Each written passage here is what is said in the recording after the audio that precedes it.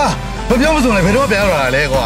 တားကိုပြုစုပြောထောင်ပေးခဲ့တဲ့အတွက်ကျေးဇူးတော်မြတ်လက်ဆောင်နဲ့ပြောပြစီဒါနဲ့ဘယ်နဲ့ဘောလုံးကကြောက်အောင်ပါလဲကွာဝါချစ်ချင်ကကြော့စရာတင်မိဘတွေရဲ့အိမ်မက်ကိုပြန်လည်ရှင်းတန်စေလိုက်ပါ Ensure Go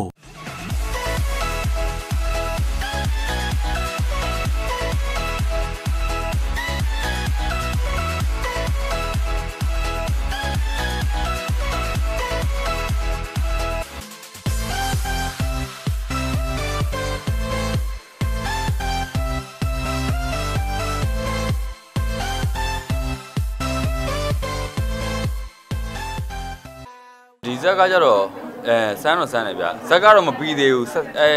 စီနိုနဲ့စင်းနေရတော့ပြီးသွားပြီပေါ့နော်ဒီကားလေးကြပြန်တော့လေသူကအဲ့လိုပေါ့ကျွန်တော်တို့ pride ဇောင်းပြီးတဲ့ကားလေးကိုပဲပြောရမှာပဲဟို pride လူငယ်လေးပေါ့နော်ကျွန်တော်တို့ဒီလူလောကထဲမှာဖြစ်ပျက်နေတဲ့အရာတွေပေါ့အခုလက်ရှိတော်တော်များများပါပဲဒီ bucket မှာဟိုဖြစ်ပျက်နေတဲ့အရာအလွယ်လေးတွေကိုအဲ့လိုပြထားတဲ့ကားလေးပါဟုတ်သတိထားမိတယ်အဓိကသတိထားမိတာကတော့ ဟိုသူအလှူဒန်းတွေအရန်လုပ်တယ်ဗျဟောအဲ့ဒါလေးတွေသတိထားမိတာဟုတ်ကဲ့သ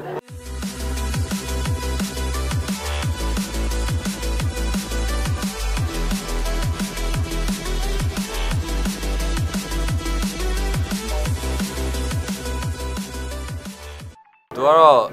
ပေါင်းစပ်စံရဲ့အရန်ကောင်းတယ်အဲအကုန်လုံးနဲ့လည်းအဆင်ပြေအောင်ပေါင်းတယ်အဲဟုတ်ကဲ့အရန်ကို